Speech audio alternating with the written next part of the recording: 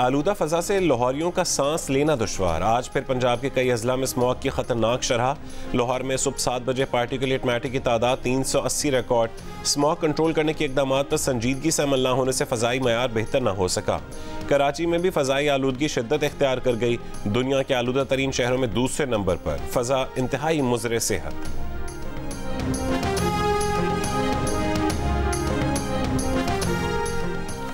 Security forces की शिमाली वजीरस्तान में खुफिया इतला पर कार्रवाई। दहशत गर्दों का सरगना इब्राहिम मूसा, तीन दीगर दहशत गर्दों समेत मारा गया।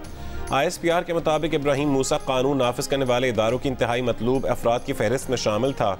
चारों हलाक दहशत गर्दों से असलहा, गोला बारूद और धमाका खेज मवाद भी बरामद हुआ है।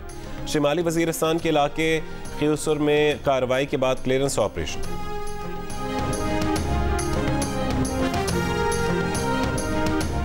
अफगान तालिबान अच्छी तरह जानते हैं कि टी टी पी के लोग पाकिस्तान के खिलाफ कहाँ से कार्रवाइयाँ कर रहे हैं।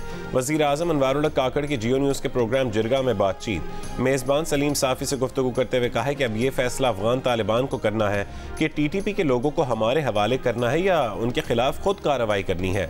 ये बात काबिल बर्दाश्त नहीं कि अफगान सरजमीन से पाकिस्तान के खिलाफ कार्रवाइयाँ की जाएँ और अफगान तालिबान तमाशा देखते रहें।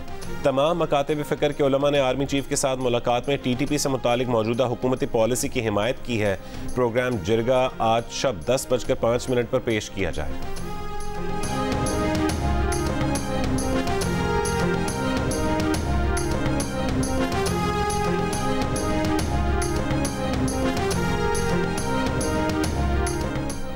इलेक्शन से तीन महीने पहले अमरीकी और बरतानवी सफ़ीरों की टॉप पाकिस्तानी सियासतदानों से मैराथन मुलाकातें।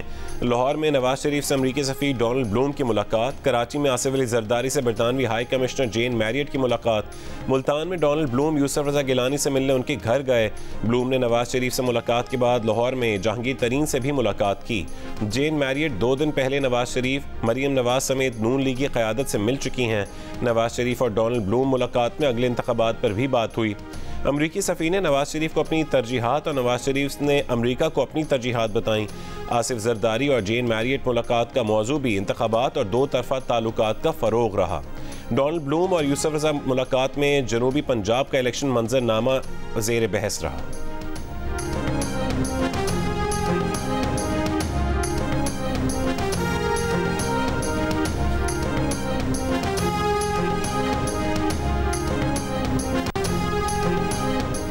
अगर आज भी कोई समझता है कि वो ज़बरदस्ती किसी को वज़ी अजम बना सकते हैं तो ये उनकी गलत फहमी है। हम उसका मुकाबला करेंगे। किसी आई जे आई का हिस्सा नहीं बनेंगे। बिलावल भुट्टो जरदारी के पेशावर में एक तीर से कई शिकार।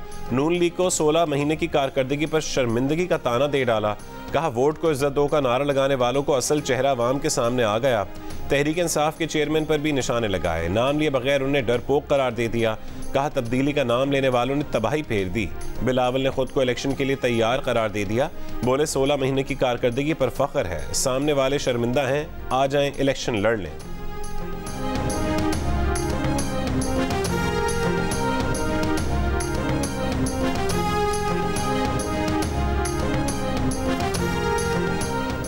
हमें एक मज़बूत हुकूमत दरकार है। नई हुकूमत को तीन साल सख्त मेहनत करना होगी। मुस्लिम नून के रहनुमा एहसन इकबाल का नारोवाल में वर्कर्स कन्वेंशन से खिताब। कहा, मुल्क कोई थिएटर नहीं है जिसमें हमें मदारियों की ज़रूरत है। क्या पीपल्स पार्टी की पंद्रह साल सिंध में हुकूमत रही? मुस्लिम लीग नून के पास दस साल हुकूमत पंजाब रही। पीटीआई के पास 10 साल खैबर पख्तूनख्वा में हुकूमत रही। क्या पीपल्स पार्टी कह सकती है कि पाकिस्तान को हम कराची जैसा बना देंगे?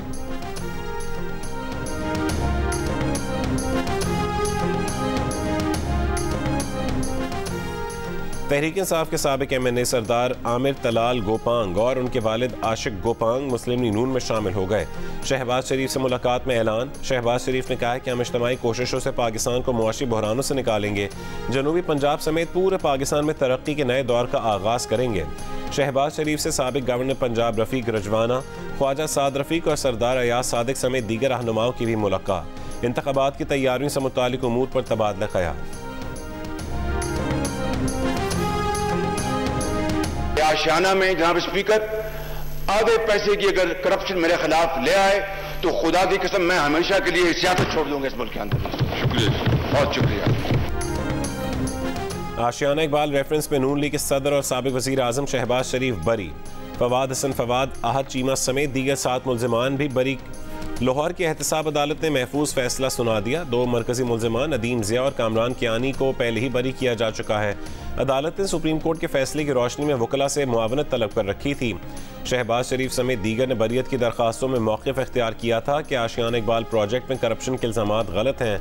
दो हज़ार अठारह में शहबाज शरीफ समेत तेरह मुलजमान के खिलाफ आशियान इकबाल रेफरेंस में नैब ने कौमी ख़जाने को छः सौ साठ मिलियन रुपये नुकसान पहुँचाने का इल्ज़ाम आयद किया था।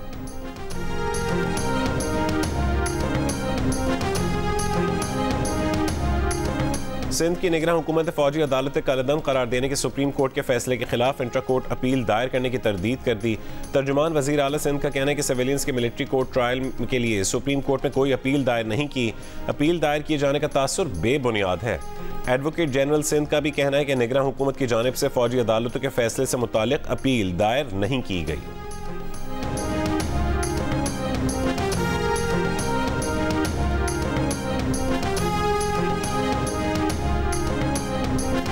चेयरमैन पीटीआई की अडियाला जेल में अमरीकी हुकाम से कोई मुलाकात नहीं हुई। तर्जुमान हुकूमत पंजाब ने कहा कि चौधरी परवेज इलाही के हवाले से दावा बेबुनियाद है।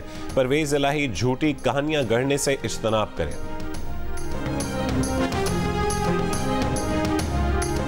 एम क्यू एम पाकिस्तान के रहनुमा मुस्तफ़ा कमाल कहते हैं, अगर मुतहदा साथ नहीं तो बिलावल भुट्टो वज़ीर अजम बनने के ख्वाब ना देखें। वो मुतालबा कर रहे हैं कि इस बार उन्हें लाडला बनाया जाए। पीपल्स पार्टी और जमात इस्लामी एम की मकबूलियत से परेशान है।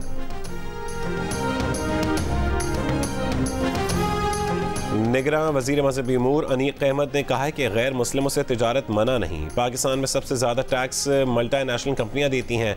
जज्बात में हमेशा हमत को गालिब रखना चाहिए। हकीमाना अंदाज होना चाहिए। ख्याल रहना चाहिए, जज्बात में मुल्क और रियासत को नुकसान नहीं पहुँचे। कराची में बिज़नेस फोरम के शाइए से खिताब ने कहा कि हज कराए हज किराए में कमी की कोशिश कर रहे हैं। पाकिस्तान में कभी ऐसा नहीं हुआ कि आने वाला हज पिछले हज से सस्ता हो। नबे हज़ार हजाज को मोबाइल सिम देंगे।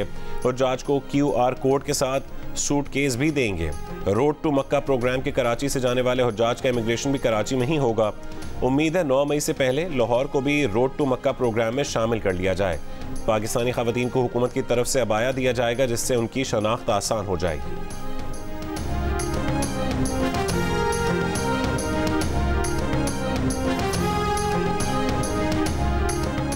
अमेरिका के साथ जो बाइडन कहते हैं, गजा और मगरबी किनारे को नई फ़लस्तीनी अथॉरिटी के तहत बिल आखिर एक हो जाना चाहिए। अमरीकी अखबार में शाया मजमून में सदर बाइडन ने कहा है कि दो रियासती हल की जानब बढ़ते हुए गजा और मगरबी किनारे को नए सिरे से बहाल फ़लस्तीनी अथॉरिटी के तहत एक होना चाहिए। इसराइली वजी अजम कह चुके हैं कि फ़लस्तीनी अथॉरिटी अपनी मौजूदा हालत में गजा की ज़िम्मेदारी संभालने के काबिल नहीं है।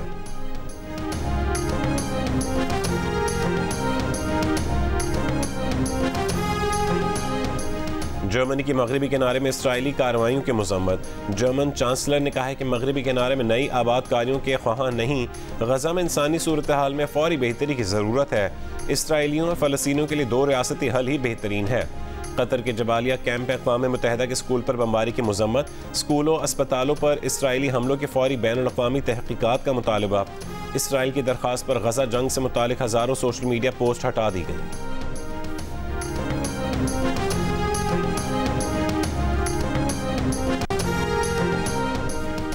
इसराइली अखबार ने पुलिस तहकीकत के हवाले से बताया कि हमास को सात अक्टूबर के हमलों के वक्त म्यूज़िक फेस्टिवल का इल्म नहीं था। मौके पर पहुँचने वाले इसराइली हेलीकॉप्टर की जंगजुओं पर फायरिंग की जद में म्यूज़िक फेस्टिवल के शुरा भी आए। हमले में बच जाने वाली एक इसराइली खातून ने अक्टूबर में इसराइली रेडियो को बताया था कि इसराइली फोर्सेस की फायरिंग से अपने कई लोग मारे गए।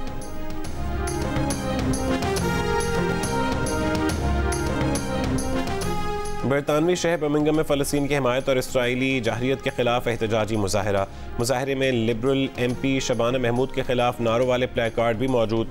मुजाहरी ने कहा है कि जंगबंदी के हक में वोटिंग ना करने वाले फ़लस्तीन पर मजाले में शरीक हैं। वजी अजम ऋषि सोनक और कियर स्टारमर के खिलाफ शेम ऑन यू के नारे। ईरानी दारकूमत तहरान में भी बड़ा मुजाहरा। ईरानी कमांडर हुसैन सलामी ने खिताब में कहा कि जंग में इसराइल को यकीनी शिकस्त का सामना करना पड़ेगा। इस्लामी दुनिया जो कर सकी करेगी। मुस्लिम अवाम, गजा के मजलूम अवाम की तरफ़ से बदला लेंगे।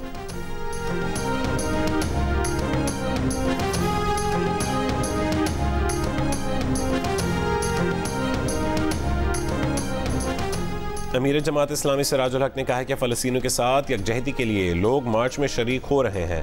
गजा मार्च से मुस्लिम लीडर्स को भी पैगाम जाएगा कि नींद से उठें। कैंपस पुल पर गजा मार्च के इंतज़ाम का जायजा लेने के दौरान कहा कि आज तारीख का सबसे अहम मार्च होने जा रहा है। कराची के इलाके सखी हसन चौरंगी के करीब तेज़ रफ्तारी के बायस कार खुले नाले में जा गिरी। हादसे में तीन अफराद जख्मी हो गए। इलाका मकीनों ने फंसे अफराद को नाले से निकाला। तबी इमदाद के लिए अस्पताल मुंतकिल कर दिया गया।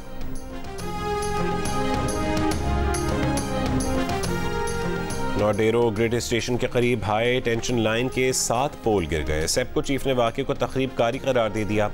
कहा कि तकरीब कार टावर के बोल्ट खोलकर सरिया काट कर ले गए। बोल्ट खुलने और सरिया कटने से टावर कमज़ोर होकर गिर गए। पोल गिरने से नोडेरो ग्रिड स्टेशन से बिजली की सप्लाई मुअत्तल हो गई। गिरने वाले पोल्स की मुरम्मत और बहाली में तीन से चार रोज़ लग सकते हैं। गुजरावाला में डाकू ने पुलिस मैन को लूट लिया। पुलिस के मुताबिक तीन डाकू, पुलिस एहलकारों से नकदी असलाह छीन कर फरार हो गए। मुकदमा दर्ज। सबक कप्तान Mohammad Yousuf Pakistan under 19 cricket team के हेड कोच मुकर कर दिए गए। उनका पहला असाइनमेंट दिसंबर में दुबई में अंडर 19 एशिया कप है। Mohammad Yousuf under 19 world cup में भी कोच के फ़रज़ अंजाम देंगे। जरा के मुताबिक fast bowling coach Umar Gul spin bowling coach Saeed Ajmal को मुकर किया जाएगा।